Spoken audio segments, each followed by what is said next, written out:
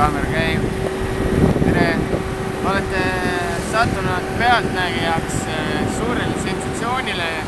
nimelt äh, selle kahe tuhande viieteistkümnenda aasta numbri sisse on mahtunud ka üks mäeoja avamine ja just nimelt see toimub täna siin Kuutsemäe lumistel mäenõlvadel. Sky pluss toetab ja kõik raadiod ja teised pangad ka toetavad.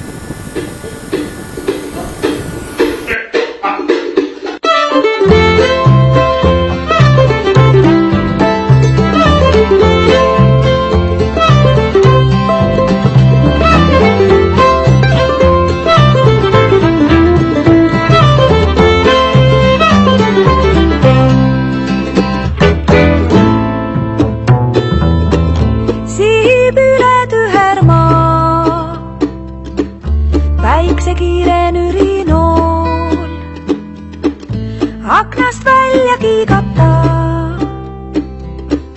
Paistab parem ette pool. Kunagine magistraal. Enam pole elutee. Autoromudega